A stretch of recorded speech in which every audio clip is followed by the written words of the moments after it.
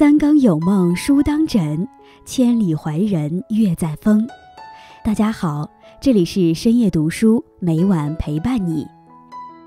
这个世界，我们每一天都在忙，忙生活，忙工作，忙人际。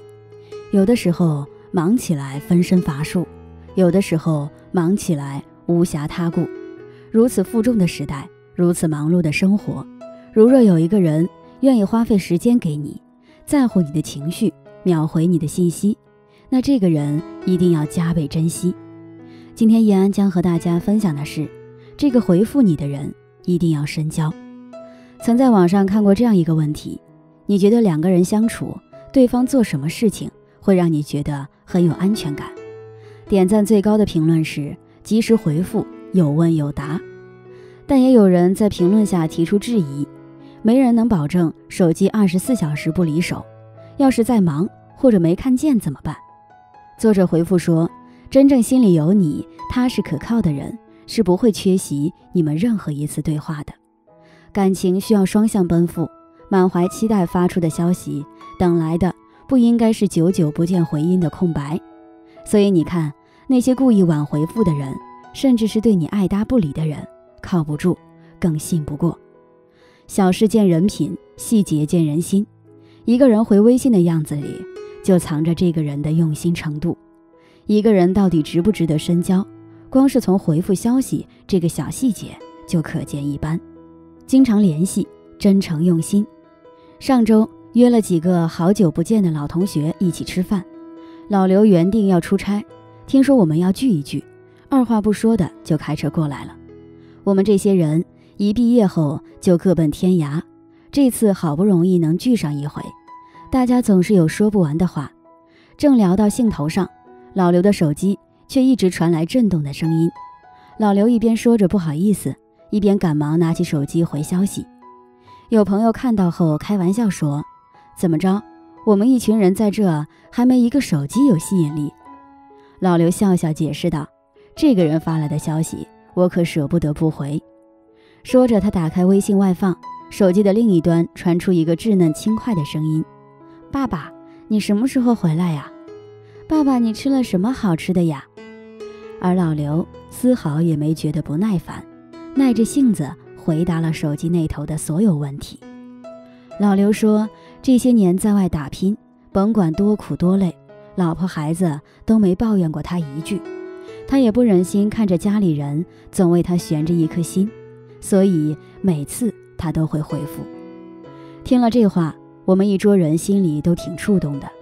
说实话，这世上没有看不见的消息，只有不想回复的人。心里有你的人，对你永远都不忙。就像傅首尔所说：“闲情，闲情，情都是闲出来的。倘若忙中还有情，那就是真情了。人和人之间永远都是相互的，热情给错了人。”就是一种打扰，真心给错了人，只会换来满心遗憾。和真正在乎你的人在一起，所有付出才能换来同等的重视。出言有尺，嬉闹有度。达邦列夫曾说过：“人类一切痛苦的根源，都源于缺乏边界感。”是啊，人和人走得太近是一场灾难。那些好的关系都自带边界感。歌手巫启贤曾分享过一段让他很头疼的经历。当时是凌晨两点，他已经困得不行，本来可以好好的睡上一觉，可谁知微信突然响了，看到是朋友发来的视频聊天，巫启贤担心出了什么大事，连忙接了起来。结果对方那里热闹得很，老巫啊，我们在 KTV 唱你的歌呢，你听。巫启贤被这么一闹。顿时困意全无，但嘴上也不好责怪什么，只是挂断了电话。没想到过了一会儿，对方又发来视频邀请，还没等吴启贤开口，对方就说：“刚才信号不好，我重新再打一次，你听听。”电话那头有说有笑，可吴启贤却憋了一肚子的气。他气愤地说：“这种人就应该直接拉黑。”也难怪吴启贤会发脾气。朋友相处，即使关系再亲密，也该保留最起码的尊重。回复消息的方式，恰恰暴露了一个人品行的最低处。我见过情商最低的人，就是不把自己当外人。要是相处时超出了分寸，那不是和对方关系好，那叫给别人添麻烦。老家有位好事儿的大妈，喜欢到处张罗好事儿，爱替别人操心。前不久，有位姑娘谈了恋爱，大妈听说以后，觉得对方男生配不上她。一会儿那男生长相不好，一会儿说那男生不够机灵，一会儿说家庭条件不够门当户对。后来那姑娘不堪其扰。出入像躲瘟神一样躲着大妈，再也没有跟他说过话。感情的事如人饮水，冷暖自知。希望对方过得好，这本身不是坏事，但要忍住干涉他人生活的手，管住自己随意评论的嘴，往往是更大的善意。王小波曾说：“口沫飞溅，对别人大做价值评判，层次很低。这世界很大，从不缺发表意见的人。”缺的是不随意评价他人的善良和涵养，人前爱揭短，人后说闲话，不仅失掉了人际交往中的基本礼貌，还丢掉了自身的胸怀和素质。